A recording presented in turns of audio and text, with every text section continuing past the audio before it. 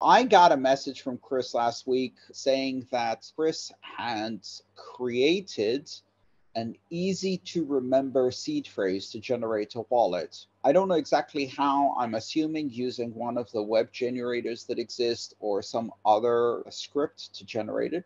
But essentially, the idea is that instead of generating the seed from a random number, as a hardware wallet will do, and as the BIP39 specification requires, you can pick words from the dictionary at least you can pick the first 11 words from the dictionary and then calculate a 12th word that will work or several 12th words that will work as a checksum.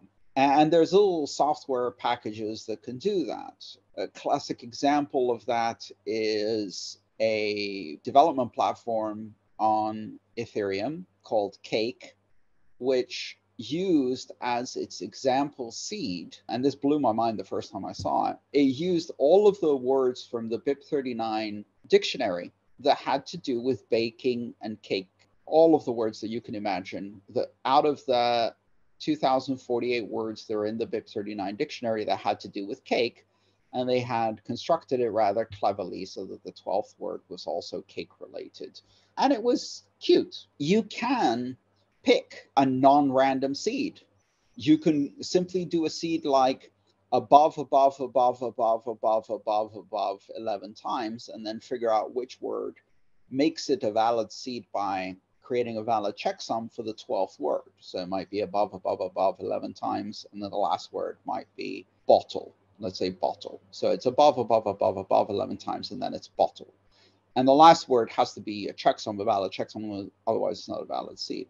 Well, guess what happens if you do that? And Chris did that.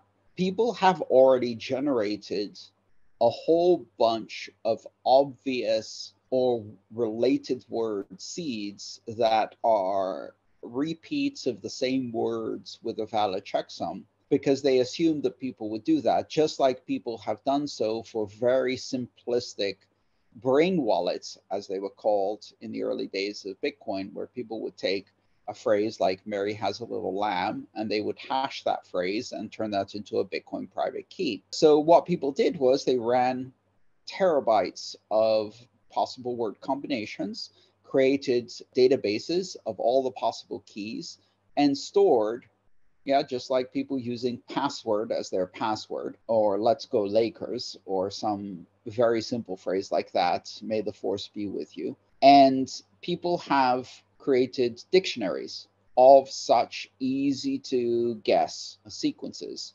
And the dictionaries are in databases that have the corresponding Bitcoin address and the corresponding private key pre generated when you pre-generate hashes or keys or things like that, that's called a rainbow table. It's a common technique used to crack easy to guess passwords. And people will then run another script that looks at every transaction that goes across the blockchain, looking for a payment to one of the addresses that are in their database. So every transaction will come by, they'll look at all of the outputs and they'll say, do any of these addresses belong to our database? Which with a database is very quick function to run. And as soon as they find a payment to one of these, they ask the database, well, what was the private key that we've pre-computed to this? They're not figuring out the private key from the public key. They figured out the private key first for obvious seeds and then calculated the Bitcoin address that corresponds to it. So they have the private key and then they immediately spend the money that was sent to that. It appears that Chris managed to fall into that trap, had a friend send an amount, which was not an insignificant amount, like a dollar.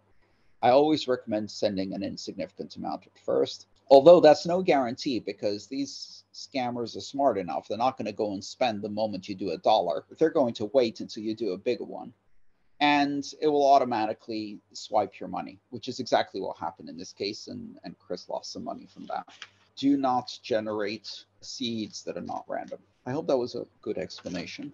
Very sorry to hear this, Chris. It sucks. Some of these lessons you unfortunately learn best the hard way. I hope that wasn't a life altering amount for you. I hope you enjoyed that video. If you'd like to support me in my mission of educating people about Bitcoin and open blockchains all around the world and publishing free content under Creative Commons licenses, please consider subscribing to the channel, sharing this video, as well as supporting me on patreon.com slash A-A-N-T-O-N-O-P. Thank you.